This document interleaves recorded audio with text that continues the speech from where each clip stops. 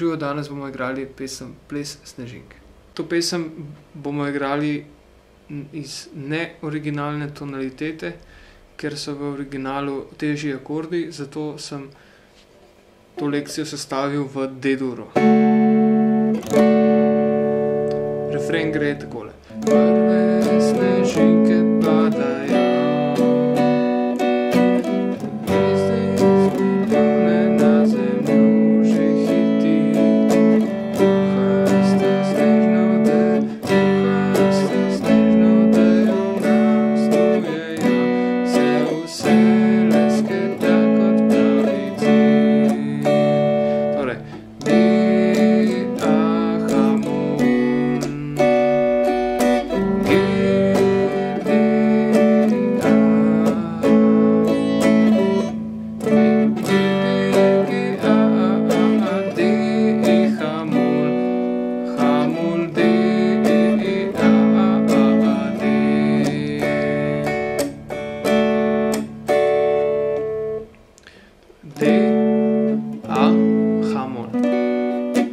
igramo en krog ritma štiri četrtinskega. Dol, dol, gor, gor, dol, gor. Potem pa G,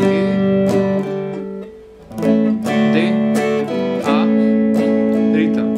Spet G, A, D, H-mol, D, A, ritem na del.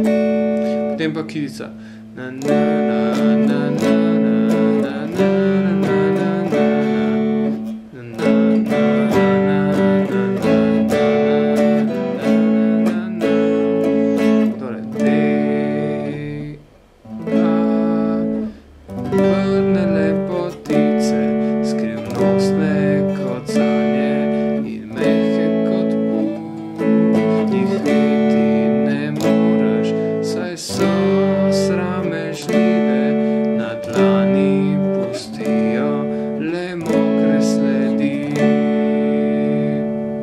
Torej, še enkrat kitica. D, A, G, D, G, D, A, ponovno D, D, A, G, D, G, D, A, D.